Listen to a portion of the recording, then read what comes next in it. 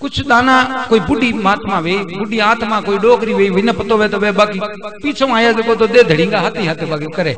B में देखो, सत्संग में सब कुछ मिलता है। यानी पुरानी पुरानी डोकरियाँ गई रोटी बनाने, बैठती वो ऑटो लगाती यदि एक फाणो दूस की दौड़, दूसरे फाड़ लगाती, ये गणपति की स्थापना करती थी। कि मेरे घर में जो आटा है और मेहमान दो वध भी जाए तो हे गजानंद महाराज, मेरे इस अंधन के भंडारी, मेरे इसमें कमी मत। हाँ आने देना, ये एक फाड़ो, तोड़ गजानंद की स्थापना कर देते हैं। उसके बाद में वो प्लेटन जीमो एक समटी भर भरो सीधो। चूल्हा में आजकल तो गैस में नौके हुए तो बारह बंद भेज देखो, करे नहीं। मैं दांगड़ो मतलब क्या होता है, उसमें भी सभी देवताओं का मुख अग्नि है। जितना भी देवता है, सभी का मुख अग्नि है, उसमें चढ़ गया, यानी सभी देवताओं को चढ़ जाता है। अभी हम एक बीम में मैंने एक पोस्टर में देखा था, पहले पहले लिखा था कि भाई किसी आदमी के घर में बीमारी लगी हो और बीमारी नहीं निकलती हो तो गायों ने चारों नौकना चालू कर दो, देखो था कि बीमारी हाँ निकल जाए पर रेगुलर डालना पड़ेगा, तब आपकी बीमारी धीरे धीरे कट जाती है। क्योंकि हाँ गेहूँ माता के अंदर तैतीस करोड़ देवता विराजमान है, कोई ना कोई आपकी पुकार ज़रूर सुन लेगा। दूसरा नंबर में लिखा था कि अगर आपका बिज़नेस नहीं चलता है तो कबूतरा ने दाना नाकना चालू कर दो ताकि धीरे धीरे धीरे धीरे आपका बिज़नेस ऑटोमेटिकली रास्ता पकड़ देगा और आगे बढ़े जाएगा। और तीसरे नंबर में लिखा है कि किसी के कर्ज हो जाता है और कर्ज नहीं उतरता है तो कीड़ियों ने कूलर डालना चालू कर दो। आपका कर्ज उतर जाएगा, पता ही नहीं लगेगा।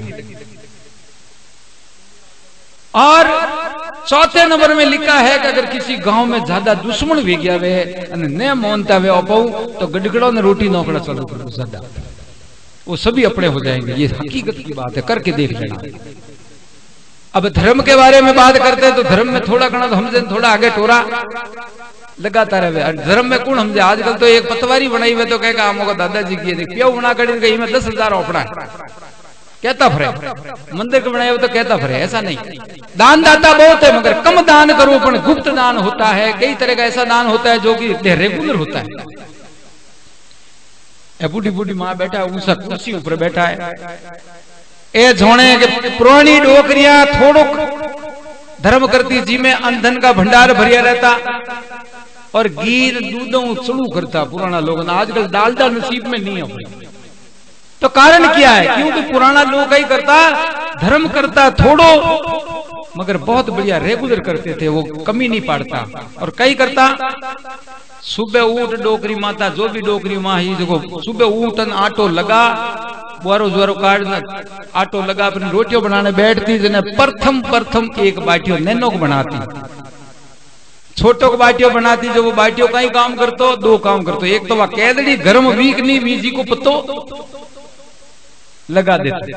दूसरी रोटी के नुकसान नहीं, वे तो वाह जो वेणो जो वी में ही भेजा तो वाह गर्म वीक डी पतो लाग जातो। और पक जाने के बाद में वो सीधा गाय के लिए।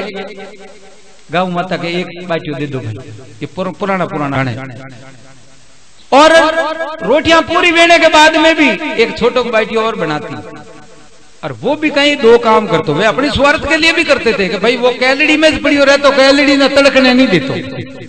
कैलड़ी फूटती को नहीं मैच पड़ी हो। रहे तो और पक जाने के बाद में कूदता रहे वास्ते।